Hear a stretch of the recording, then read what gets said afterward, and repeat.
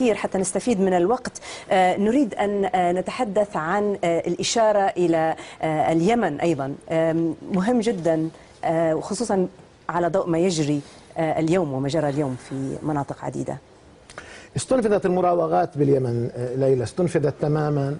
المشكلة أنا باعتقادي أنه اللقاء المشترك لأسبابه صبر كثيرا وقيد حركة الشباب أكثر ما يجب وبرأيي آن الأوان وإلا سيكون غير الممكن الاستمرار. آن الأوان اللقاء المشترك لا ينظر إلى الشباب كجيش احتياط للحركة السياسية التي يقوم بها. لأنه ي- بدأ يعني جمعة الحسم وجمعة النهاية وجمعة الختام وجم... يعني استنفذت حتى المفردات. واضح أنه يجب الاقتراب. نحو موقف آه، واضح وقاطع وصريح فيما يتعلق بتغيير النظام. طرحت كل الإمكانيات الدبلوماسية للخروج من المأزق. أنا أقصد مأزق النظام بشكل آه، آه، بشكل لا يعرض للمجتمع لهزات هذا ما أرغبه على كل حال بكل مكان. نحن لسنا هواة لا بهذا الشكل يعني الدموي ولا تصفيات ولا كذا.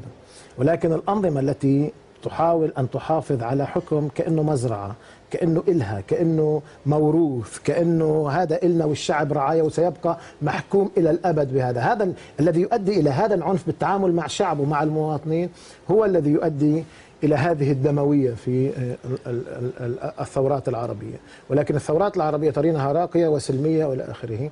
وبرأيي آن الأوان في حالة اليمن آه، لا يعني الموضوع يذهب إما بهذا الاتجاه أو ذاك. يعني باعتقادي ال- اللقاء المشترك ربما حاول أن يحقن الدماء أو أن يحقن لأنه شايف النظام كم هو دموي ولكن الشباب أشهر في الساحات. طبعا ما في مظاهر تعب ولكن على مستوى الرأي العام العربي على مستوى الرأي العام اليمني يعني قد يصبح الموضوع محير لأنه المفردات استخدمت خطابات الرئيس كذا الآن يقول لهم سيوقع يوم الأحد لماذا يوم الأحد؟ لماذا ليس بالأمس؟ هل لديه يوم الأحد خطاب جديد؟ يعني أنا أعتقد أن الأمور آه، آن الأوان أن تحسم وفي إقدام وفي شعب عظيم آه، آه، آه، الحقيقة أثبت نفسه. ويجب أن يعطوا الشباب وأنا أقول ذلك لإخواننا في أحزاب اللقاء المشترك هؤلاء الشباب يمثلون ظاهرة سياسية جديدة بالفكر وبالأخلاق وبالقيم.